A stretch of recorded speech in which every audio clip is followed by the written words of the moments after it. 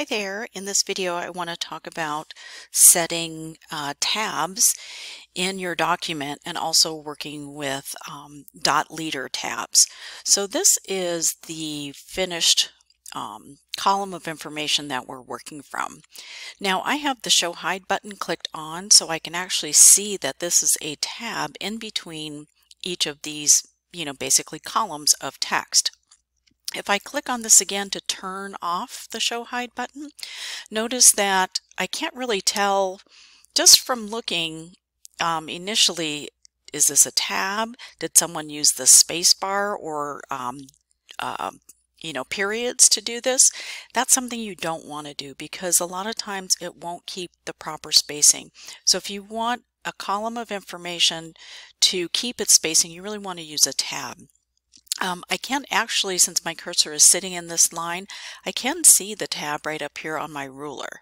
And if I get my mouse pointer right on it, it does give me that tooltip that it says right tab. So I can look there as well. So this is what we're shooting for. Okay, so let's go over to where we have an example. Now, this uh, column of information has bulleted uh, items at the left, which we're going to keep those. And when someone was inputting this, they typed in the information and then they just pressed the tab key on their keyboard and again since I have my show hide button on I can see that there's a tab in between. If I take that off it could just be spacing you know like again with my spacebar maybe so this show hide button really does help you be a quote detective when you're trying to figure things out in your document. Now I want this information um, all the information on the right hand side to be right aligned at the six inch mark with a dot leader. So the first thing I want to do is um, just to point out, again, I mentioned looking at the ruler. My cursor is sitting here in this um, line and I can see that there are three tabs already set for this line. If I click down here, nope, I don't have any, um, you know, manually set tabs.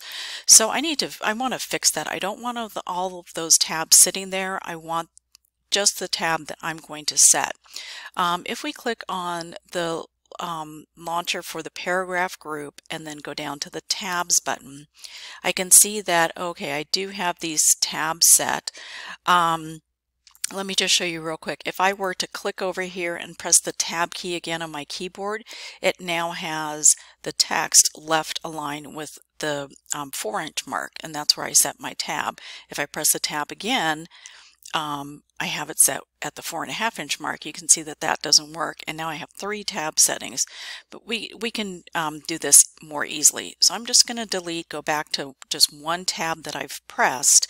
And then let's go back to our um, tabs button and I'm going to click on clear all and then click on OK. And you can see now all of those tabs disappeared off of my ruler and I'm basically starting with a pretty much clean slate.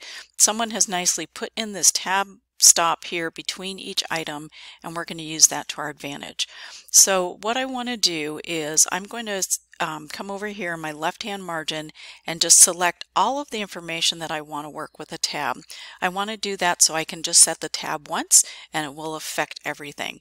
Same thing if you need to, let's say you need to start over. You got some tabs set but they just aren't working. Select all of the text affected by that, delete the tabs and then you know, with the information still selected, go ahead and um, reset a new tab.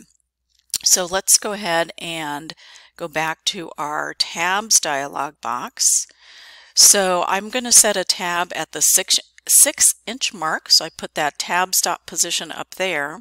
Under the alignment area, I want it to be a right align tab.